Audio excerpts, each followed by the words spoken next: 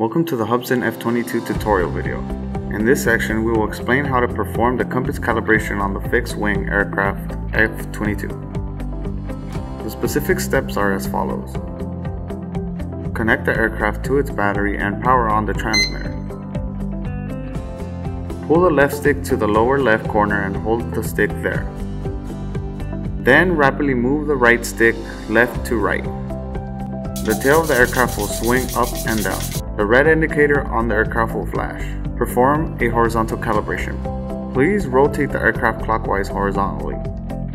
When the green LED indicators are flashing, perform a vertical calibration. Please point the nose of the aircraft up and rotate the aircraft clockwise vertically. After calibration is complete, the LED indicator will stay solid.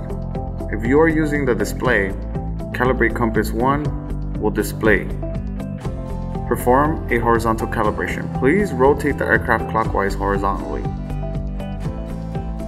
Calibrate Compass 2 will display. Perform a vertical calibration. Please point the nose of the aircraft up and rotate the aircraft clockwise vertically. After calibration is complete, the LED indicator will stay solid. Calibrate Compass 2 message will disappear. The compass is susceptible to interference by electronic equipment. Magnetic interference and metals and interference could lead to erratic behavior and loss of control. Regular calibrations help to keep the compass and its readings accurate. Thank you for watching.